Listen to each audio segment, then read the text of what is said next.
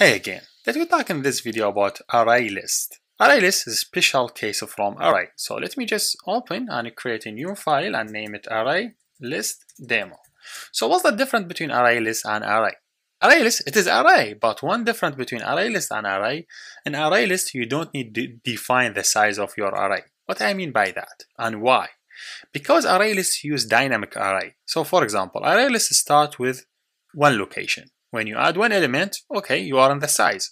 When you add second element, you are outside the size. What, what ArrayList will do, because use dynamic array, it will duplicate array size and it will add your element here. Now, if you add another element, you are now out of the size. What it will do? It will duplicate the size of the array. It will go from 2 to 4 and it will add your element here. You add another element, you are good. Now you add another element, you are outside the of over the size. It will duplicate the size from two, 4 to 8. Now you have 1, 2, 3, 4. Four, uh, four location on your element here and these are empty. So think about you have 2000 for example, just for example, two, uh, you just you have 1000 one element and the dynamic array create for you 2000 location. Do you know how many elements you have, how many location in the memory you don't use it? 999. So because this is how it's built. So I would never recommend using ArrayList unless you just want to use it but this is how the internal data structure. You know you're saying why I discuss it in the video if I don't you don't have to use it. I discuss it to tell you how the data structure for array list so you don't use it. You avoid it unless you just want to use it for some specific reasons. So to do array list example I will copy the code I have in the array demo. Because I just already I just go to the array demo and I copy that code put it here now we said one thing different between array list and array, I don't need to define the size. The size is not needed. So what I need to do, I say list of bits equal array list. Okay. And bam. Just open the bracket, close it. I'm good. But now I don't need to define the index for, for my array list. I just could say dot add because I don't know what the index, I just adding it. It's better to say dot add because you may not know the real index. So you just add them. When you complete, you just read them. Now you know the index, I think, here, so there is no issue with the index here. But you will not use max size because max size may make a problem for you. What I mean by that? I mean, max size, you may define like 10 elements, but you put only 3. So it's better to use the array list size. You say list of pet dot size. Make sure you be in the range of your array list. Then now if I just try to debug it to see what's going on. So you will see like whatever you enter, you'll be fine. It will increase the size of the array for you without uh, without letting you care about the size of how many how many pets you enter it don't you don't care. It will just increase the size for you. But now we just want to need like make it nicer. The code just seconds. I will make it nicer. Let me make it run first. Let me assume I define the size for first. How many element I would expect to enter. I would expect to enter 3 and now he asked me about it, it just it will create a new list. You see now I just have a list of pets. It doesn't define the size. Size is 0 if I now enter, ask me to enter the first one, I will name it dog. Okay. If I just go down, it will create size of one. Yeah, because one element. Now if I just enter the second one, I think, I will enter a cat. Now if I just see debug, I have two. That's fine. If I enter the third one, I will say cat, uh, fish and I would assume it will duplicate the size for me. It did show you 3, but it definitely should, internally it should have a 4, because it should duplicate the size. So yeah, it's just like very nice way. And yep, we don't need to define the size.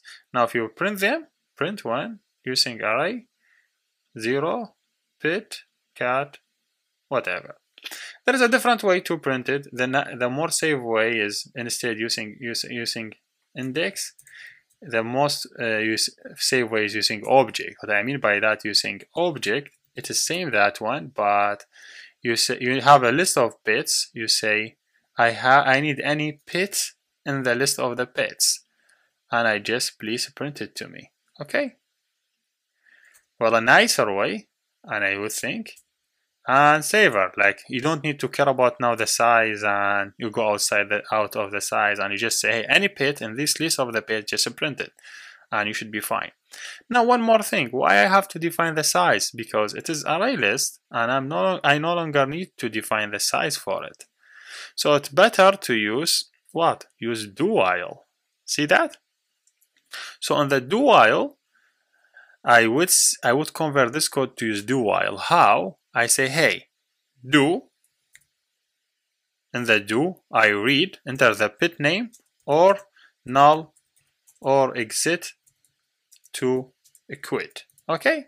So now he will enter the pit name. I will get the pit name. I would name it val pit name. Okay? And I will, the pit name should be equal whatever the user input I am reading and I put it to the list. I will quit when? I will quit when the pit name is, I mean, when while the pit name equal equal quit because I say, hey, if someone enter quit, just quit. But sometimes we will have a quit as a options.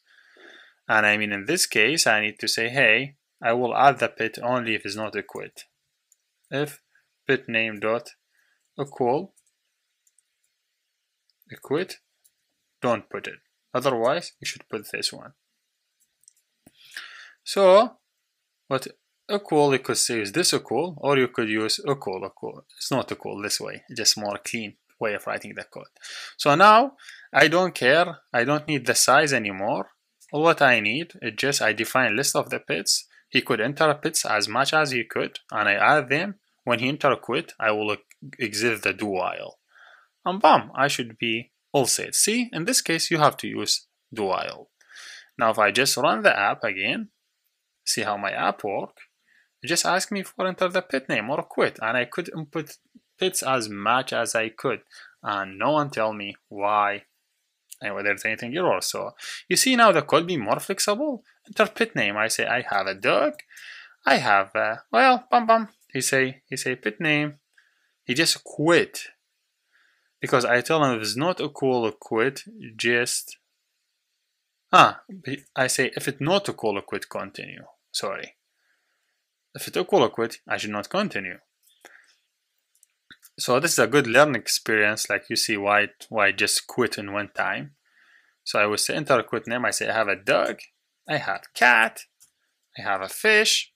Whatever whatever uh, whatever like uh, bits you have you just list them. Who care? The application will accept. I say ra bit. I say whatever. I say uh, fee rate see how, how flexible the application. It will never stop unless i type a quit will exit and show me everything see it show me hey you have this list of pets that you enter. You enter duck, cat, fish, rabbit, ferret. That's right. And that's what I want. I want my code be flexible enough, don't ask for size, and could do whatever. Also, I you could search in the list. You say, hey, for example, if I enter, if there is in the list, if the list contain, uh, for example, cat, I will be qualified for something. You say uh, print line I say your cat qualified for special care. Okay. Special care. Whatever. Always always always always there's a grammar mistakes. So let me just correct this one. Okay qualified okay so now in this case if I just run the app if I enter cat but make sure I enter the small letter, otherwise will not accept it. Or you say, you should you should either search for cat capital with cat with a small, or you convert everything to small letter, whatever. So I say cat, dog, and I want to exit. Enough. You tell me, ah, quit, I think, not exit. So exit, exit now, exit now consider as a bit. so you see, your cat qualified for special care. because the list contains, so I could search in the list. So yes, that's all what I want to share with you in this video. Hopefully everything good. And thank you for watching and see you next.